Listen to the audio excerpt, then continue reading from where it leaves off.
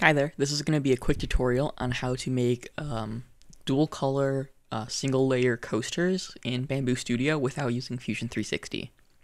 Um, so first what I'm going to do is I'm going to bring up some Starbucks logos, so let's look for that. And I like this website 1000 logos.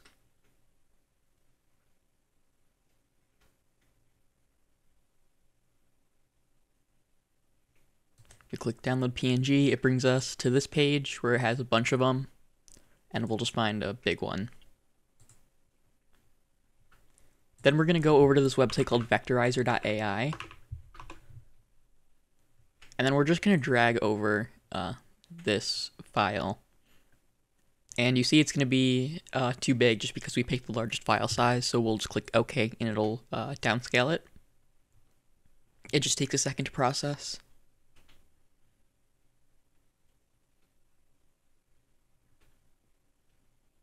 All right, and here we have the vectorized result. It looks really good. This website has always been really good. Um, so we're just going to download it, uh, keep the file format as SVG, and then we want to make sure it's place, shapes, and cutouts in shapes below. And we'll download it. Then we can go into Bambu Studio, and we'll just uh, click Add, and we will uh, select this Starbucks logo that we just uh, made with the Vectorizer AI. And it's going to take a second to load it, just because it's a big file. And so first thing we're going to want to do is scale it to however large we want. So I'm going to click uniform scale and make it uh, 100 millimeters in size. And then we'll uncheck that and make it 0.4 millimeters thick. That'll just make it one layer thick, or in this case, two layers thick with a 0.2 millimeter layer height.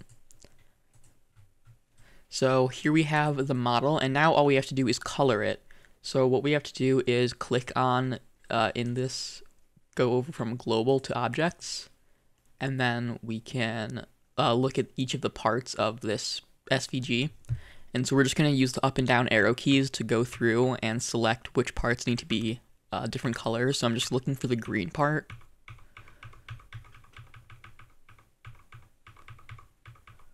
And then you can just use the number uh, keys on your keyboard to select the color. So now all I need to do is find the little inside pieces that are going to be also green. There we go. So now everything we want is green, and then what I also want to do is I want to flip this upside down.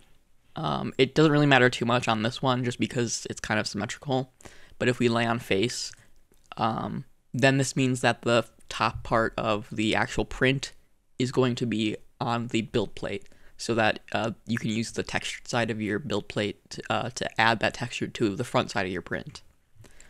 Um, then I'm going to go over here and we're going to just select 0.2 millimeter layer height and we can slice it.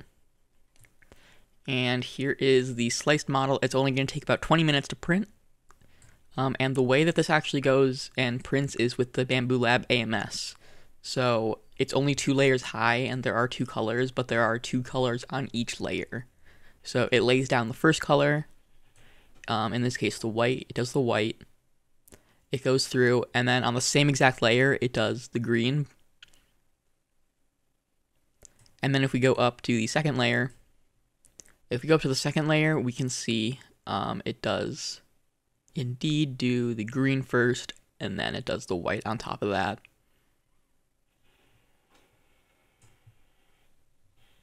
So let's go ahead and print this and see how it turns out.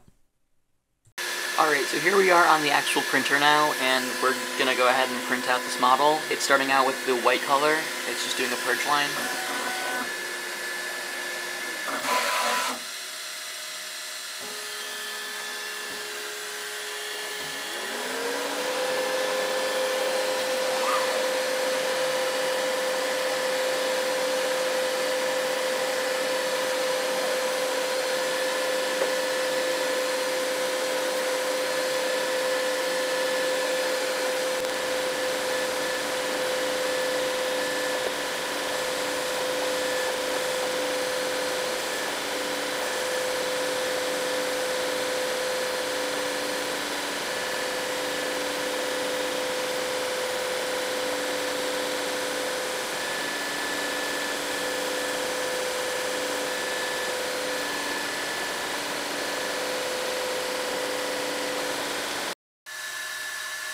So now that the white layer has already printed, it's just going to go ahead and print the green on the exact same layer.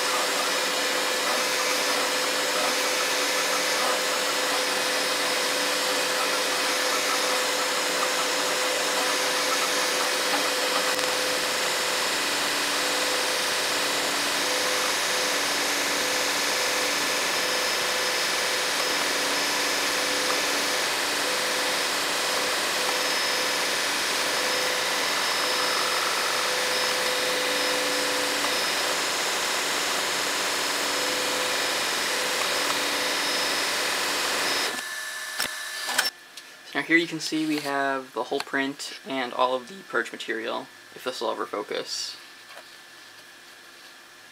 There we go. So, this is the purge block. It's pretty small. It's only two layers thick, so that explains why. This is all the purge material, just a few poops. This is the purge line, and then we have the final print.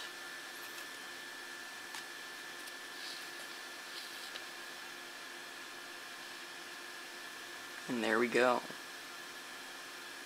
It has that nice textured PEI surface finish on the other side. I don't know if you can see it on camera. There we go, just a little bit.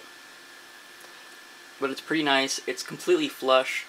Uh, you can see I had a little bit of red on my build plate right before I printed this, so it is a little bit contaminated. So you're going to want to make sure that you clean your build plate really well before you finish this project. Um, but anyway, that's how we do that. Um, hope you enjoyed the video.